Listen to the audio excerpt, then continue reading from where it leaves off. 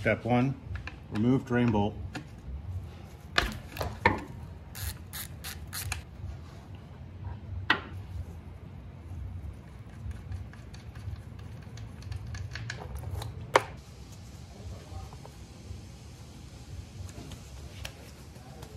Step two, remove the oil filter.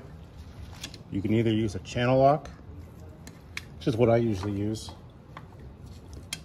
or you can use a uh, oil filter socket.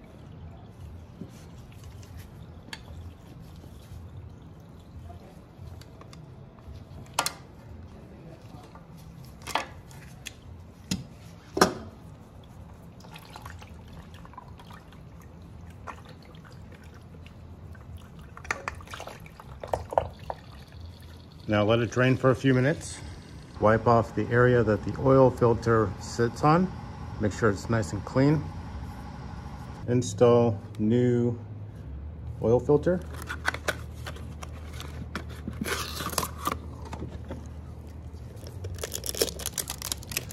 Make sure this O-ring right here is intact and lubricated.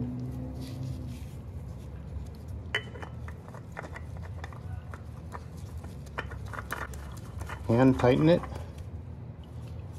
When the O-ring touches, give it another three quarters to a full turn.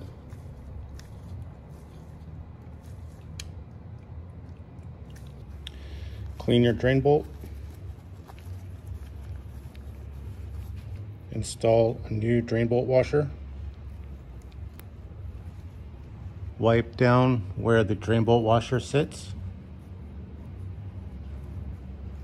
Screw in the drain bolt. Start it by hand.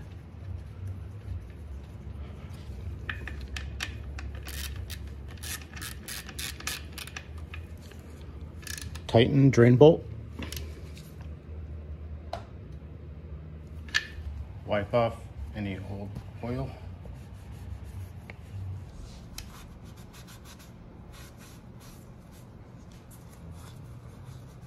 I like to spray it down with some brake clean.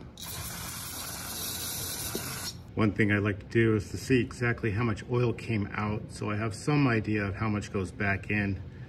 I could, with this one, I'll start with uh, two and a half quarts and then add as I need to. Next step, we're gonna add oil right here in the fill hole and we're gonna do it so that the oil shows up about halfway through in the window.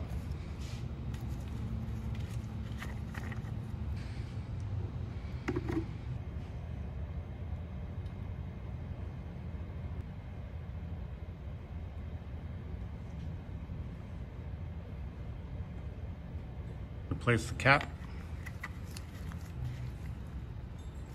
Now we're gonna start the bike and let it idle for about five to 10 seconds. We're looking to make sure that oil light goes away.